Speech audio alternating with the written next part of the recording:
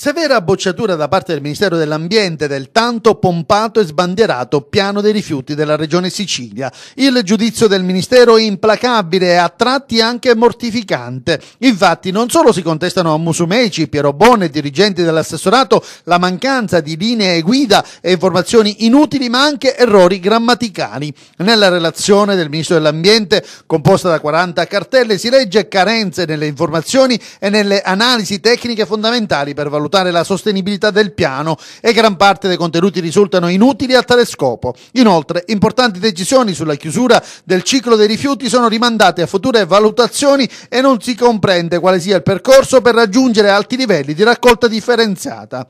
Su questo aspetto, peraltro, i dati forniti dal governo Musumeci sono difformi rispetto a quelli forniti dall'Istituto Superiore per la Protezione e la Ricerca Ambientale. Mancano le linee guida che non possono essere demandate agli enti locali e non c'è traccia dei necessari termovalorizzatori. E poi ancora frasi di difficile comprensione che utilizzano terminologie e definizioni che non trovano riscontro nel dettato normativo europeo e nazionale in materia di rifiuti.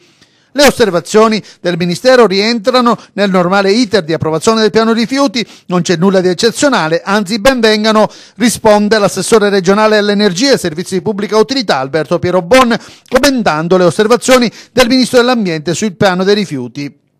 Il piano va integrato col contributo di tutti per avere il miglior risultato possibile. Alcune critiche sono costruttive, altre le valuteremo, ma c'è talmente tanto da fare che ogni aiuto è sempre utile. All'interno dell'iter per l'approvazione del piano è previsto il rilascio della VAS, la valutazione ambientale strategica da parte dell'assessorato all'ambiente. La procedura dà 60 giorni di tempo ai soggetti interessati e competenti in materia ambientale come sindaci, associazioni, lo stesso Ministero per presentare le osservazioni. È la prima volta volta che la Sicilia decide di dotarsi di un piano rifiuti, prosegue Piero Bon, è un lavoro storico, un documento importante di pulizia e trasparenza che il governo sta portando avanti.